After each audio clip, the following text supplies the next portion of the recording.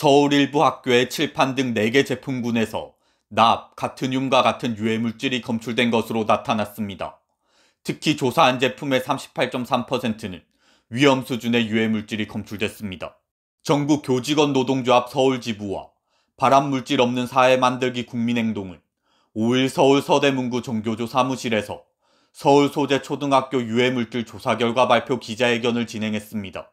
이들이 노동환경건강연구소에 의뢰해 지난 10월 11일부터 18일까지 서울 지역 15개 초등학교의 교실 칠판과 게시판, 체육관 충격보호대, 도서관 소파에 대한 유해물질 안전성 조사를 실시한 결과 총 81개 제품 가운데 38.3%인 31개 제품에서 위험 수준의 유해물질이 나왔습니다. 유해물질 검출 비율이 가장 높았던 제품은 칠판이었습니다. 칠판 14개 중 9개에서 납이 152에서 5만 100 ppm 수준으로 검출됐습니다. 어린이 제품 공통 안전 기준보다 최대 501배 높은 수치입니다.